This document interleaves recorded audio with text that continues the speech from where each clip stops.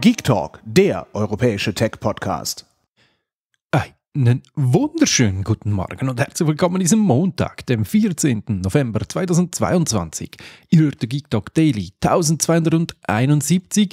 Heute habe ich die folgenden Themen für euch. Swissquote, FTX, Starlink, Google Pay, Teufel, Emergency SOS, Cell Broadcast, Google Stadia und Spotify. Ja, bunt gemischt, aber es passt heute mal so. Ich beginne mit der Swissquote. Die hatten in der letzten Woche, ja, es gab den ein oder anderen Ausfall hier in der Daily, deshalb erst jetzt eine DDoS-Attacke.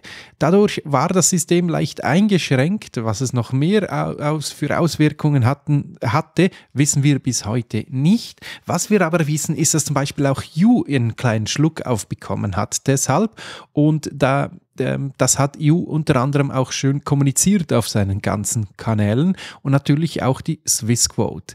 Hier sieht man wieder mal, wie wichtig dann eben Passwörter und gute gesicherte äh, Accounts sind, damit solche oder damit bei solchen Angriffen äh, auch nicht irgendwelche komischen Dinge passieren können. Wer sich übrigens EU und Swissquote mal ein bisschen genauer anschauen möchte, in den Shownotes auf daily.tiktok.ch und im Podcatcher eures Vertrauens findet ihr einen Link zu einem Testbericht, aber auch zu den Gutscheinen, wo ihr da einfacher einsteigen könnt, wenn ihr dann möchtet. Weiter geht es mit FTX und wir bleiben im Finanzbereich das ist ja die oder war die zweitgrößte Kryptobörse, wenn ich es richtig im Kopf zusammenbekomme, die ähm, schon länger oder eigentlich immer relativ gut war mit der äh, größten Kryptobörse. Die beiden Herren haben sich aber ein bisschen, ich will jetzt nicht sagen zerstritten, aber auseinandergelebt, wie es so schön heißt. Und da gab es ähm, ziemlich unschöne Bewegungen. Wer sich das ein bisschen genauer anschauen möchte oder anhören möchte, ich glaube, ach, wo war das? Der äh, Weltpodcast, glaube ich, Finanzwelt-Podcast. Ich weiß es nicht mehr auswendig. Wenn ich es noch finde, werde ich es bei euch in den Show Notes ergänzen. Ansonsten tut es mir leid, dann ist es schon durchgefallen. Da wird das Ganze gut erklärt, wie die beiden einander gegeneinander ausgespielt haben. Also vor allem die eine Partei, die andere dann ähm, feindliche, quasi unschöne Übernahme ansteuern wollte, die anscheinend jetzt doch vielleicht gar nicht zum Zuge kommt es ist schwierig. Die Nutzenden wollten dann ziemlich schnell ihr Geld abziehen. Ich bin nur froh, habe ich meine Kryptowährung nicht da drüben gebunkert. Ich bin halt Fan von, dass äh, ja, die Zugangsdaten etc. alles drumherum in eigener Hand zu haben, sprich mit so kleinen Dongles, die man dafür nutzen kann. Weiter geht es mit Starlink und da gibt es jetzt Datenlimits. Etwas Unschönes, wenn man bedenkt, dass Starlink immer der Einz oder bis jetzt der einzige Anbieter war, der das nicht hatte. Bei anderen Anbietern zahlt man teilweise deutlich mehr und hatte eben immer Kompromisse. Man hat nicht so schnelles Netz gehabt und man hat vor allem auch nur begrenzte Menge an Netz gehabt und dann wurde gedrosselt. Leider haben da ein paar Menschen wieder mal über die Stränge geschlagen, nehme ich doch mal schwer an, denn zumindest in den USA wurde jetzt bekannt gegeben, dass es in Zukunft Einschränkungen geben wird beim Starlink. Wer über einen Terabyte an Daten zieht, und ja, das passiert bei mir nicht ein paar Mal im Tag, aber schnell mal alle paar Tage, der wird dann gedrosselt für den Rest des Monats. Das ist unschön und Musk überlegt sich auch, die generell die Geschwindigkeit ein bisschen anzupassen. Das sind natürlich beides Dinge, die oh, nicht hätten sein müssen, aber es ist leider immer so, wenn du etwas unbegrenzt anbietest, dann nutzen es die Leute auch sehr, sehr stark. Sehr schade. Was dafür schön ist, ist, Google Pay bekommt auf, zumindest auf der Webseite jetzt endlich auch Two-Factor-Authentification. Obwohl Google das eigentlich schon lange für den Account hat, kommt es jetzt eben noch in die Bezahllösung mit rein, sofern ihr das auf der Webseite ansurft, pay.google.com. Da wird ab Dezember dann rollierend ausgerollt die Two-Factor-Authentifizierung folgen. Weshalb das so wichtig ist, warum Two-Factor-Authentification so wichtig ist und warum ihr unbedingt einen Passwortmanager nutzen möchtet, wer da ein bisschen sich einlesen möchte, in den Links, und ich habe es vorher schon gesagt, wo das überall der Fall ist, habt ihr die ganzen Links dazu, wo ihr euch ein bisschen einlesen könnt.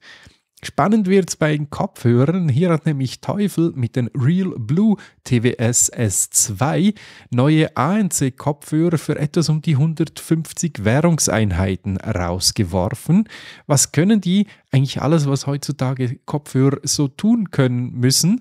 Äh, Active Noise Cancellation ist logisch, das muss einfach sein. Äh, lange Akkulaufdauer ist gegeben, acht Stunden und dann eben bei ANC auf sechs Stunden runtergebrochen. Und mit dem Ladecase bekommt ihr insgesamt doch fast 24 Stunden Laufzeit hin. Ist touchfähig für die Bedienung und ihr könnt es auch über den Sprachassistenten eurer Wahl nutzen. Ich bin gespannt. Mal schauen, ob ich mir die ein bisschen genauer anschauen werde. Kopfhörer sind ja immer so ein Ding, was ich sehr, sehr gerne mir genauer anschaue. Dann hat Apple bekannt gegeben, dass Emergency SOS wie geplant jetzt im November ähm, auf den Markt kommen wird in den USA. Wie angekündigt, man hatte gesagt auf Ende des Jahres, jetzt ist klar, es kommt noch im November. Und wie hat Apple das gewerkstelligt? Apple hat ja gesagt, dass sie da mit Partnern zusammenarbeiten und eine 450 Millionen Dollar Investition gemacht haben in den Apple Advanced Manufacturing Fund, woraus unter anderem sehr viel Geld an Globe Global Star geht, ein globales Satellitenunternehmen, das in den Staaten seinen Sitz hat. Und da sind jetzt 300 Mitarbeiter abgestellt, die unter anderem diesen Dienst befeuern und äh, betreuen etc. Ich bin sehr, sehr gespannt, wie das funktionieren wird. Werde wahrscheinlich nicht so schnell in den nächsten Tagen nach Amerika kommen, aber würde es natürlich super gern mal ausprobieren. Dann gibt es Neuigkeiten zum Cell Broadcast. Netzwerkbetreiber versenden vorab SMS an Kunden.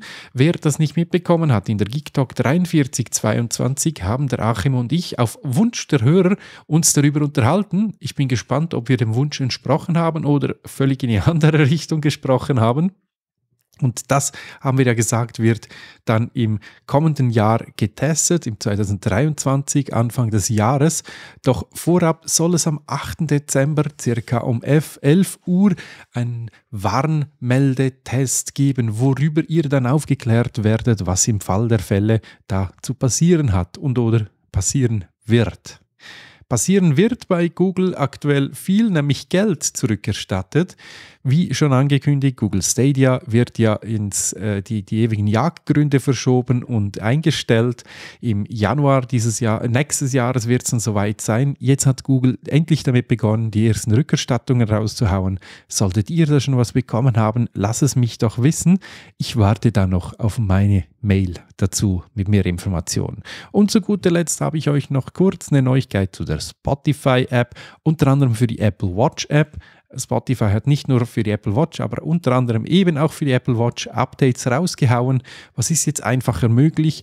Musik auf die Apple Watch zu verschieben, um sie da offline anzuhören, wenn ihr kein Netz habt und nicht die LTE-Version oder 5G-Version davon habt. Respektiv die 5G gibt es ja noch gar nicht. Gibt es sie schon? Auf jeden Fall LTE-Version. Sagen wir einfach die Mobilversion. Ihr könnt das einfach verschieben und neu soll es auch so sein, dass man zum Beispiel neue Podcast-Episoden mit einem blauen Punkt versehen hat, dass man sieht, dass man diese Episode noch nicht angehört hat. Na dann, viel Spaß beim Podcast hören über eure Apple Watch und Spotify. Wenn es denn unbedingt sein muss, lieber darüber als gar nicht, aber ihr wisst ja, es gibt genügend Alternativen auf dem Markt. In diesem Sinne, euch einen schönen und erfolgreichen Start in die Woche. Besten Dank an die Tippgeber zu den Themen in dieser Episode und wir hören uns bald wieder. Euer Pogipsi. Tschüss. Hört mehr Geek Talk.